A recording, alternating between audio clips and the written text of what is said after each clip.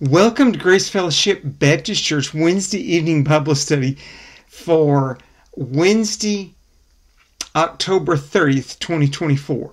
We are in the book of Second Kings. We're at the end of chapter 23. We're going to start with verse 36. Jehoiakim was 25 years old when he became king, and he reigned in Jerusalem 11 years. His mother's name was Zebidah, the daughter of Pedadiah. She was from Rumah. He did evil in the eyes of the Lord, just as his fathers had done. During Jehoiakim's reign, Nebuchadnezzar, king of Babylon, invaded the land, and Jehoiakim became his vassal for three years. But then he changed his mind and rebelled against Nebuchadnezzar. The Lord sent Babylonian, Aramean, Moabite, and Ammonite raiders against him. He sent them to destroy Judah in accordance with the word the Lord had proclaimed by his servants, the prophets. Surely these things happened to Judah according to the Lord's command in order to remove them from his presence because of the sins of Manasseh and all he had done, including the shedding of innocent blood for he had filled Jerusalem with innocent blood, and the Lord was not willing to forgive. As for the other events of Zedekiah's reign and all he did, are they not written in the book of the annals of the kings of Judah? Jehoiakim rested with his fathers, and Jehoiachin his son succeeded him as king.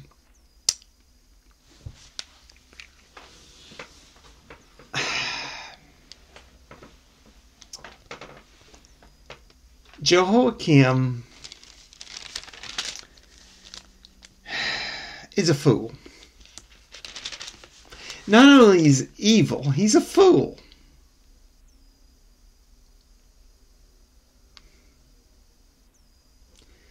When in your dad's time,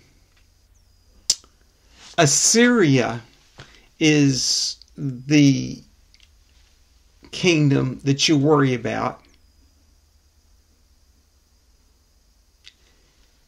and the empire that wiped the Assyrians out comes to your land. Okay, becoming a vassal to him makes sense. You can't stand against him. You become a vassal and you stay faithful, right? No. Became a vassal and three years later rebelled.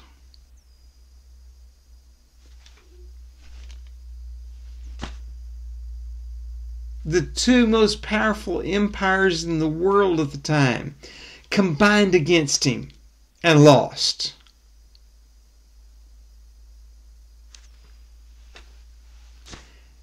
And unbeknownst to anybody that was there, yeah, your dad helped with that by it was a narrow victory and they lost by less than they uh, lost as they came through Judah.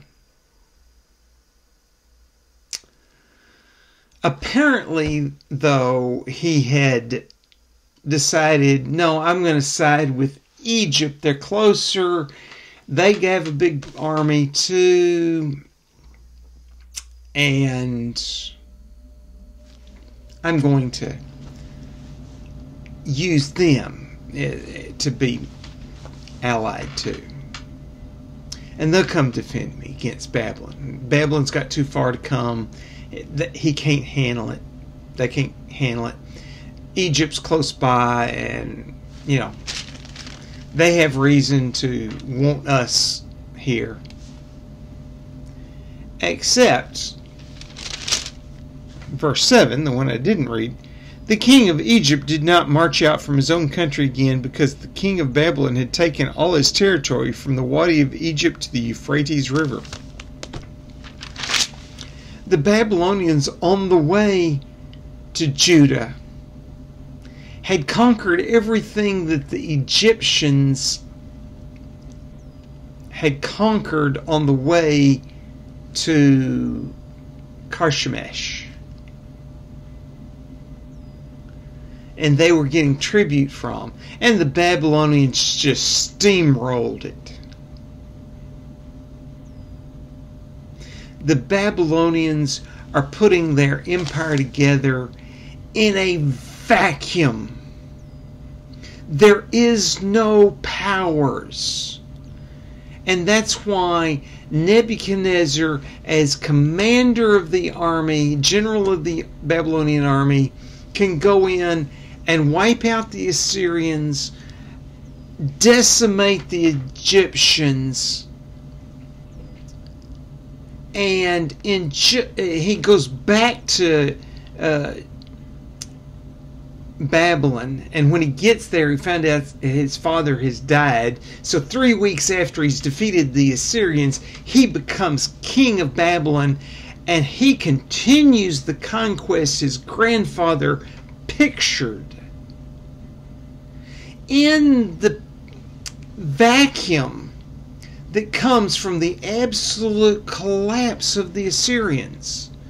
And so, in just a few years, he runs all the way into what's now Turkey, Anatolia.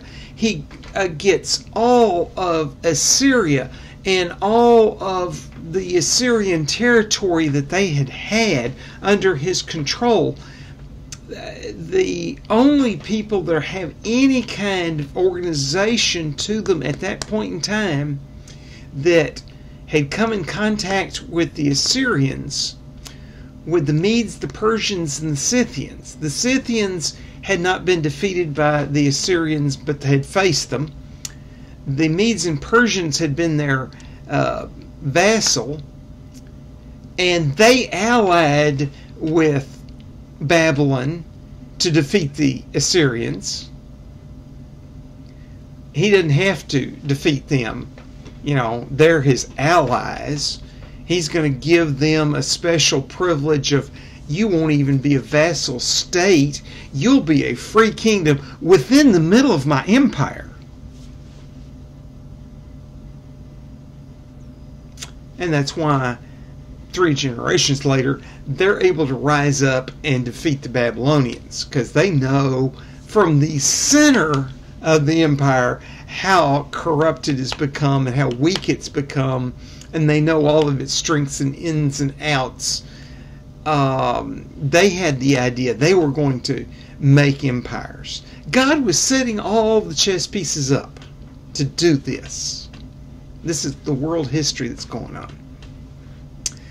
And Babylon comes to power first, but they create that vacuum by destroying the Assyrians and destroying the Egyptian army that has just been free from the Ethiopians one generation.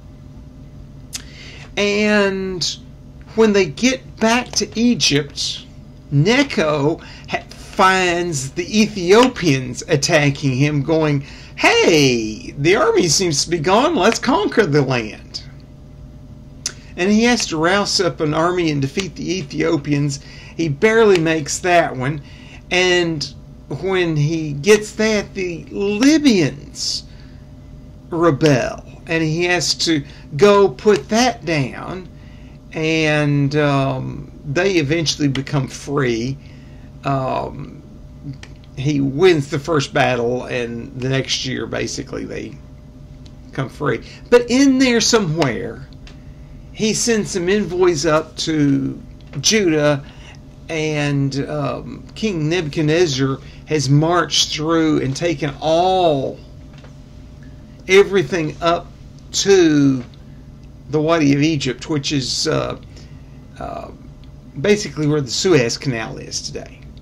It's the south end of Sinai. So uh, Nebuchadnezzar has marched through Sinai after getting Jehoiakim as a vassal.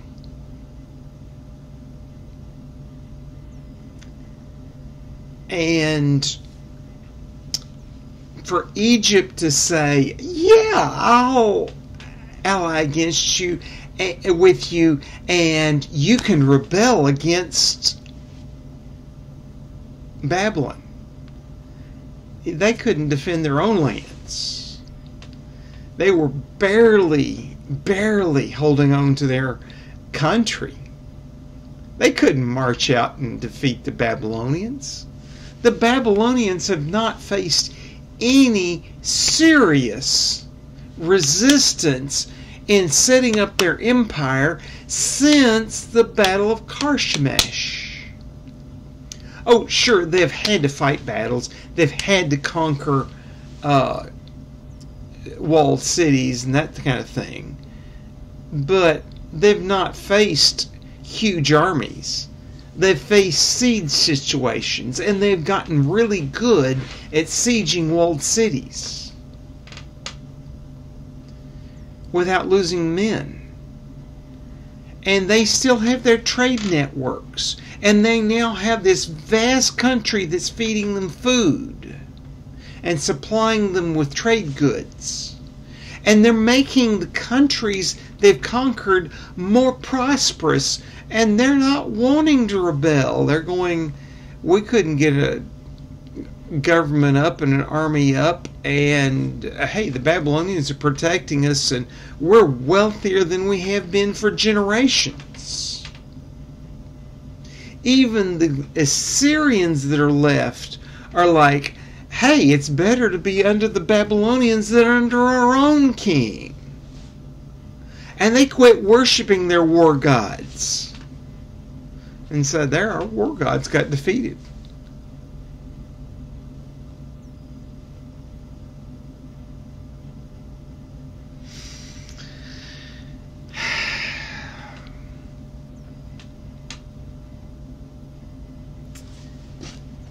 And Jehoiakim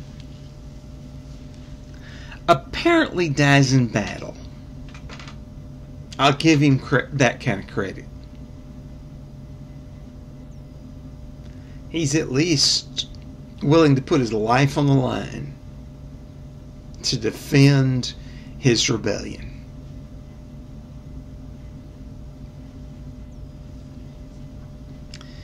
But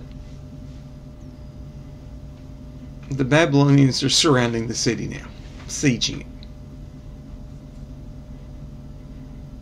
Verse 8 Jehoiachin uh, yeah, Jehoiachin uh, Chin succeeded Jehoiakim as king. Verse 8 Jehoiachin was 18 years old when he became king, and he reigned in Jerusalem three months. His mother's name was Nahashata, daughter of Elnathan. Uh, Elnathan, uh, however you want to pronounce it. Uh, God is the gift.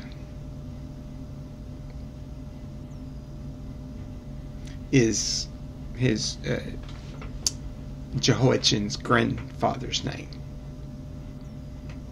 Uh, so, anyway, she was from Jerusalem. He did evil in the the Lord, just as his father had done. So, Jehoiachin is 18 when he becomes king, when his dad dies. Um, by the way, his dad was 36 when he died, which means Jeho- uh, Jehoiakim was 18 when he had Jehoiachin.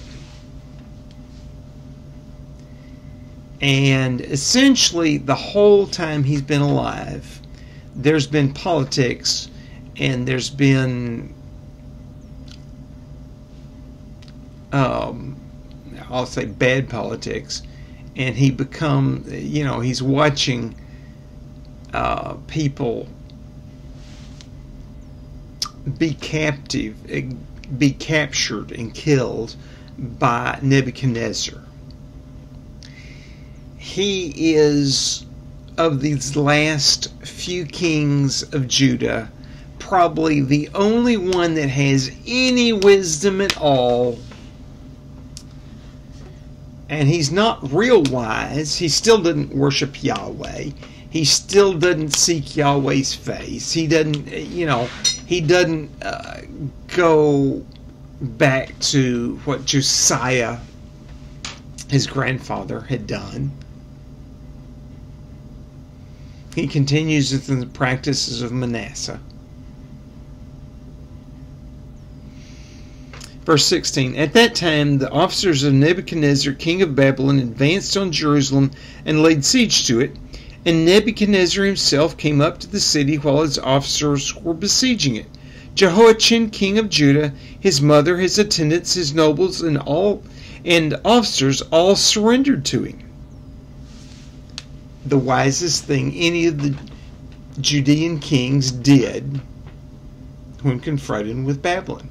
Let's face it, Hezekiah had had the prophecy that his descendants would be captured by the king of Babylon. At that time, Babylon was a newly freed city, not a, not even a country, a city. But it had a essentially a mayor that had this idea we're going to establish an empire. And he set about setting that up, making it a family dynasty thing to do. And he set up the the trade network and the business network it took to get the money to support an army not by supporting the army by raids and conquering lands and getting good, uh, getting foodstuffs to feed the army and gold and silver to pay the army, but a trade network of business people that could pay taxes to support that army. That was his innovation. And he succeeded. His grandson, Nebuchadnezzar, conquers um, most of the world. Uh, let's face it, uh, the Scythians were his allies that nobody conquered, uh, but the Scythians were north of the Black Sea. Nebuchadnezzar traded with them. So they traded across and around the Black Sea uh, into what's now Ukraine and Russia. I mean, the Babylonians knew that area well. They went there. He traded into India, both over land and across water.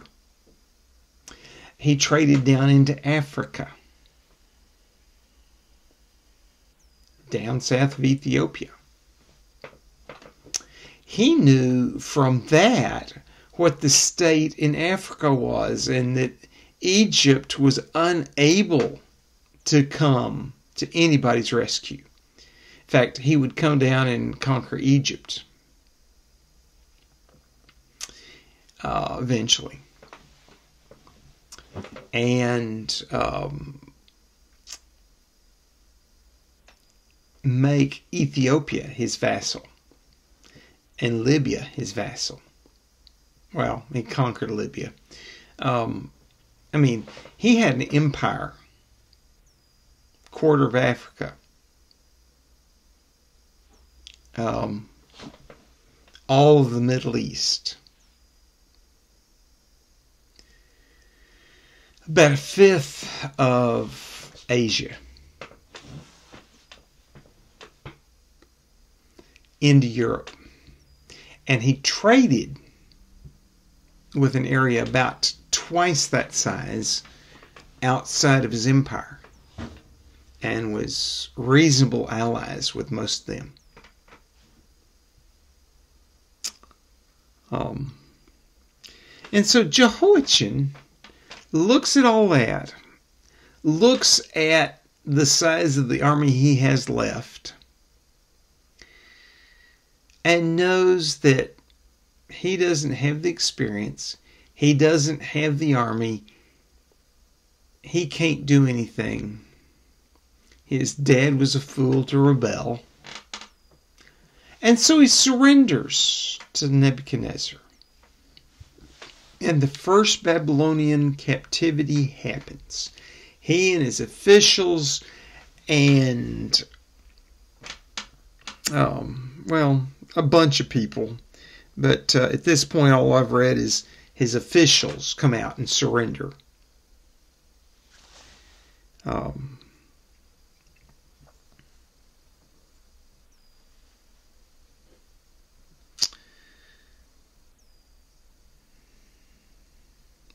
let's see where where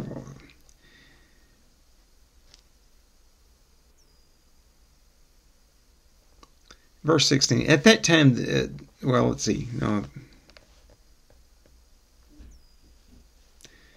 okay middle i know middle of verse 12 in the eighth year of the reign of king of babylon he took jehoiachin prisoner as the Lord had declared, Nebuchadnezzar removed all the treasures from the temple of the Lord and from the royal palace and took away all the gold articles that Solomon king of Israel had made for the temple of the Lord. He carried into exile all Jerusalem, all the officers and fighting men, all the craftsmen and artisans, a total of 10,000. Only the poorest people of the land were left. Nebuchadnezzar took Jehoiachin captive to Babylon he also took from Jerusalem to Babylon the king's mother, his wives, his officials, and the leading men of the land.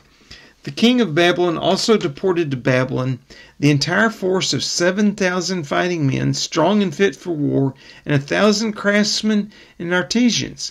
He made Mattaniah, uh, Jehoiachin's uncle, king in his place, and changed his name to Zedekiah and we remember uh, this man as King Zedekiah.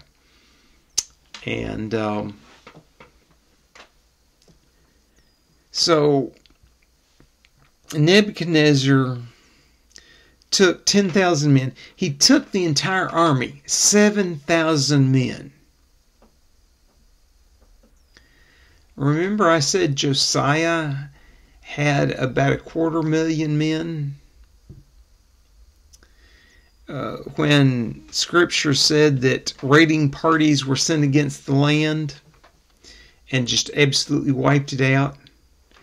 Raiding par- parties normally were um, basically grab and run thieves, and at least historically. And if you stood up to them, you know, they lost and they didn't get anything. And if they survived, it's because they ran.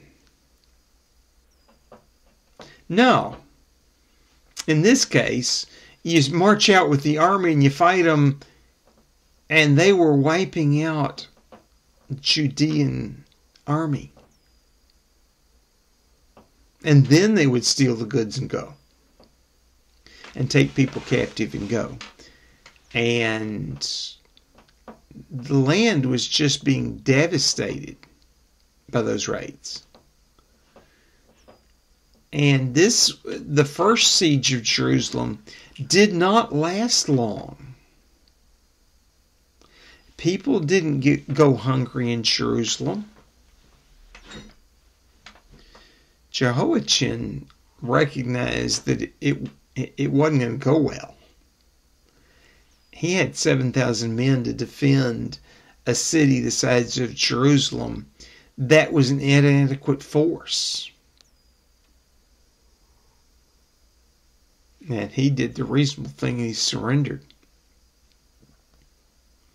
And he went out with all the officials and he surrendered the army. And Nebuchadnezzar took everybody that was anybody that was left captive and took them to Babylon. 10,000 men, plus their wives and children.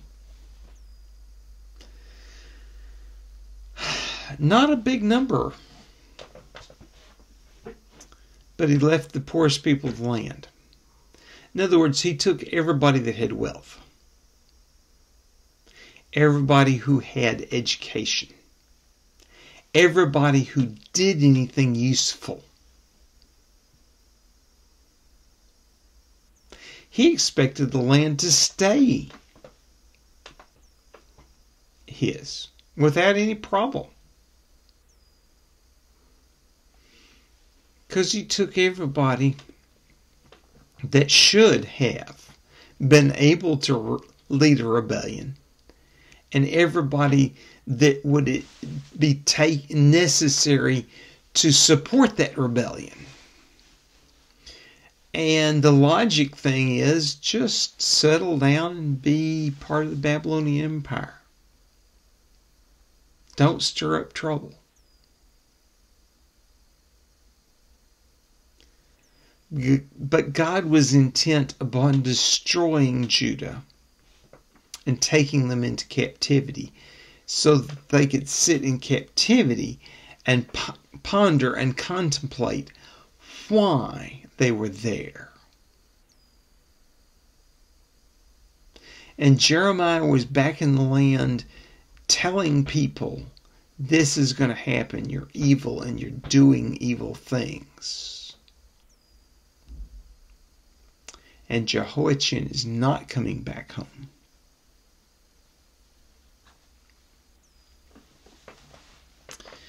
Zedekiah, verse 18 Zedekiah was 21 years old when he became king, and he reigned in Jerusalem 11 years.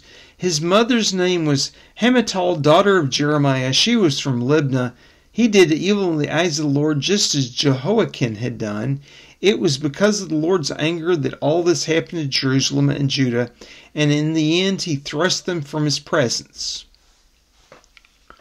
And I'm going to, uh, you know, we're going to deal with some things about Zedekiah, but the, most of his reign we're going to deal with next time. Um, he was 21 years old when he became king. Uh, notice his mother's name. I told you last week to remember that name. His older brother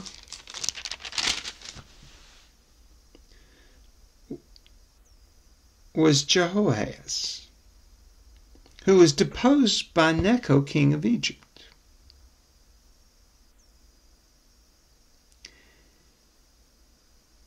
He was 10 when that happened.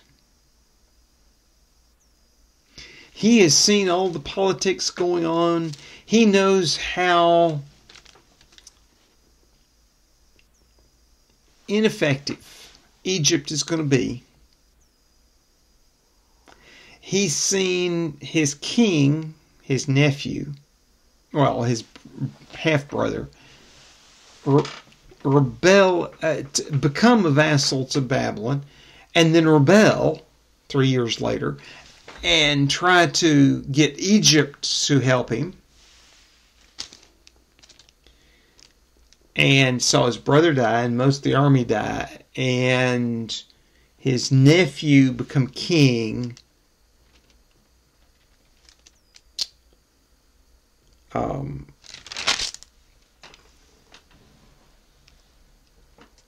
and his nephew is only three years younger than him. They essentially grew up together. They knew each other. He was expected to be an advisor to the king. That's the that's the way the younger uh, uncles and stuff that were royalty, royal family, were expected to be. You you were expected to support the family business. He never expected to be king. And the king of Babylon picked him because he could do the job, but he should be ineffective at rebellion. He should know better. And he hoped that people would follow him and he would be able to keep the people uh, controlled.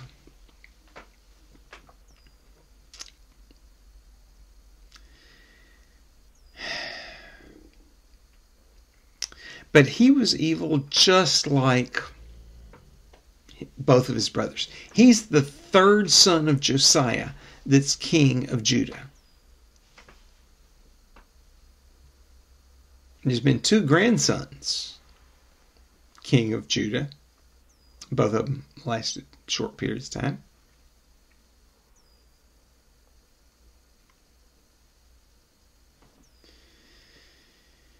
and God's going to destroy him in his kingdom.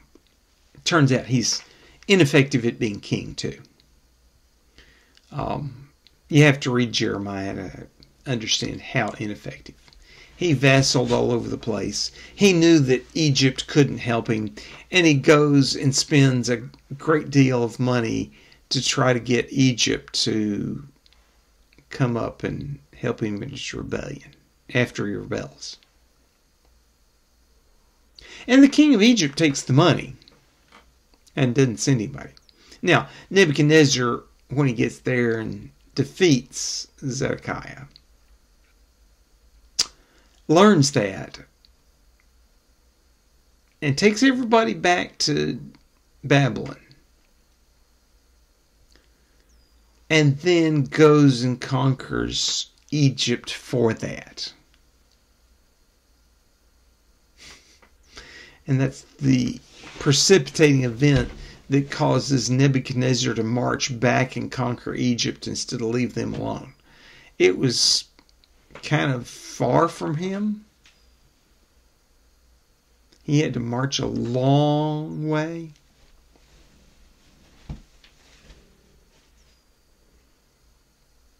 And he does it. And while he's on that campaign, he not only conquers Egypt, he conquers Libya. He defeats Ethiopia but doesn't conquer it. They become a vassal state for him. Now, they had been a trading partner to Babylon across the water.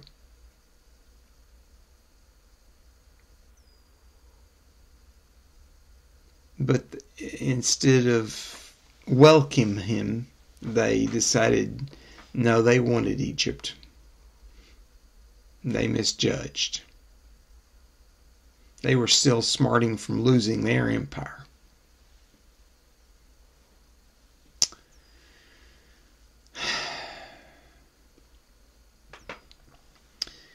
Uh, Nebuchadnezzar is an amazing general, amazing conqueror um, if we hadn't seen Alexander the Great, um, we would think he's the greatest general of all time, greatest king of all time. Alexander the Great did the same kind of thing, except he didn't do it into a power vacuum. He attacked strong countries, and he did it quicker. Part of it is he learned some of the lessons from Babylon. Part of it was Alexander the Great was ordained by God to do that. And um, if you read Daniel, you understand that God had predicted it. And that um,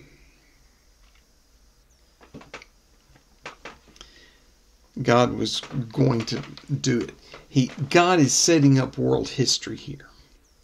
And he has to have Judah in captivity where they would purify their hearts and worship only him and try to do exactly what Moses told them to do. Now, the problem is they're going to turn inward and they're going to be exclusive and they're not going to try to reach the rest of the world. David understood that he was supposed to win the world over. Solomon interacted with the rest of the world. Uh, Josiah, uh, you know, tried to teach the rest of the world and succeeded with the Samaritans in one sense. They worshiped, they worshipped Yahweh better than Judah did after that. But it's in Babylon that, one thing, the Israelites become Jews um, because basically only Judah's left and the Babylonians shortened that to Jew, or to the word that would eventually become Jew, I should say. Um, And they come back as Jews, not Israelites.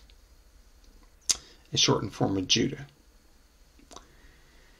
And um,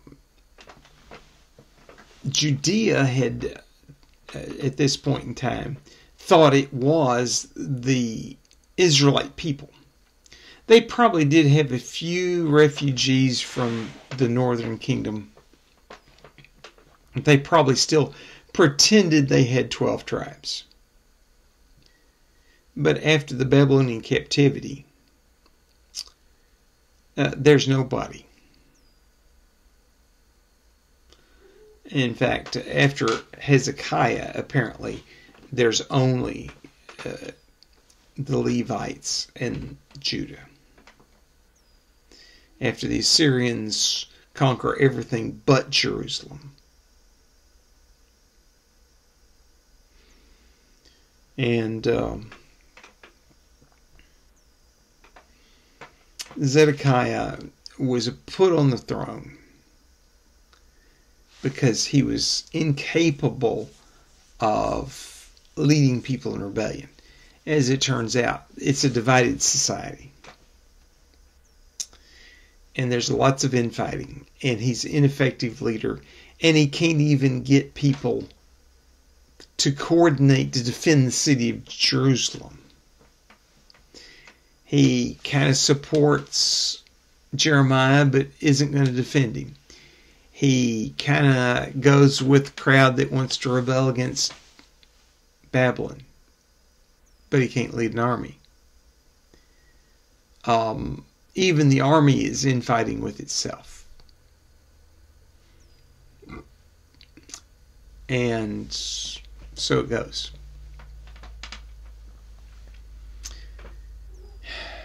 And God was going to thrust them from his sight.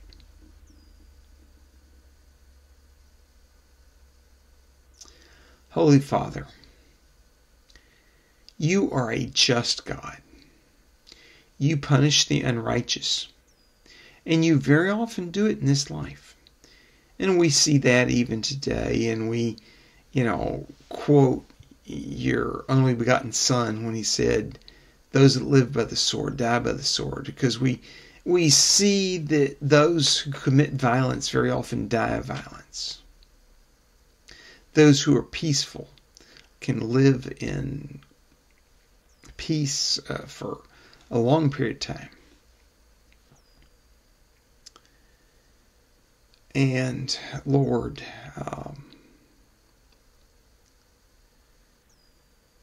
yet uh, evil still grows in this world. Just like in Zedekiah's time we seek after that which we want, which is our own way. And as you say, the end result is death. And you are shaping Judah to become the Jews, a people who would be obedient to you and your law, fanatically so even excluding their own children if they rebelled. So it didn't take hold again. But they would also conclude, after hundreds of years of contemplation, that the Mosaic Law did not adequately take care of sin. And they needed something else and they were looking forward to the Messiah. And they were looking forward to the Messiah that would conquer the rest of the world and set up a Jewish empire. And you were sending a Messiah that would forgive them of their sin.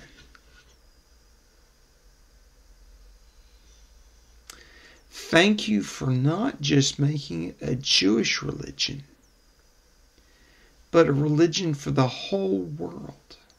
That I myself could get that forgiveness of sin. I ask that you help me to be able to confront the world with that forgiveness of sin that they can become yours. And if they don't, they'll at least know why you condemn them. Lord, we ask that you bless Grace Fellowship Baptist Church, that we would humble ourselves and pray and seek your face and turn from our wicked way and do it your way. That we would hold you high, that you could draw men to yourself. That we would do the things that you tell us a church should do, including evangelism and discipleship and fellowship and um, service and uh, fellow, uh, anyway, that we would do them all. That we would grow the kingdom in this spot and you would grow us. Lord, continue to lead us to be that kind of people. In your holy name, amen.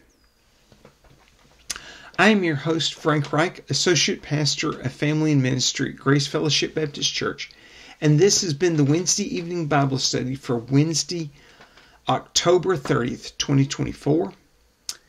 Um, this was recorded on Saturday, uh, October 26th, 2024. And um, I've had a day in which uh, I got a lot done, but I also had a lot of frustration. It feels like the whole week. It feels like I almost get things done, but not quite. Uh, several times this week. Um, didn't complete my week's work and my day's work at, at work and had to leave part of it for the next day. And that happened Friday and Thursday and Wednesday. You know,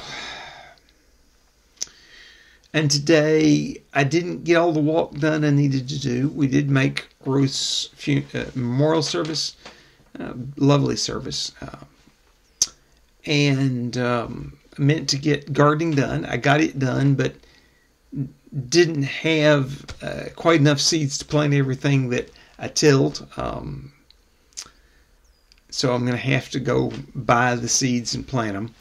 Uh, but it was getting dark and late, so it was time to water what I'd planted, and I watered it all. And, you know, um, things like that. Come in and there's problems in the house. This uh, this electrical appliance and that electrical appliance and this other electrical appliance don't work, and some of it doesn't make sense. Like here in the bedroom where I'm recording this, the overhead light works. You can see me. you, you know it works. Some of the outlets that are on the same circuit don't work. They worked this morning. I don't know. Their refrigerator was off. That that um, circuit had tripped. Uh, turned it back on, and everything's fine its refrigerator's working again, but found out the hot water heater, the electricity's off to it, and there's no circuits off. It's on, like the bedroom here, it's on a circuit, and the things on that circuit are working. It's in the same closet and on the same electrical circuit the air conditioner is on. The air conditioner works. Frankie took a cold shower. I boiled water on the stove and then had to add a lot of tap water and took kind of a warm uh, wash, scrubbed off and rinsed off. That sums up my week. Please continue to pray for me. Um, I feel like my body's falling apart. My left hip is hurt off and on, and my left shoulder is hurt left off and on. Like my left half of my body is falling apart. Still, God is in charge, God is in control. God is doing things, even if Satan is attacking. And I have confidence God will do great things through Grace Fellowship Baptist Church, but we need to be faithful to Him. Y'all have a blessed week. I hope to see you tomorrow morning at church. If not, I hope to see you Wednesday evening. And if nothing else, we'll see you here on YouTube. Have a blessed week.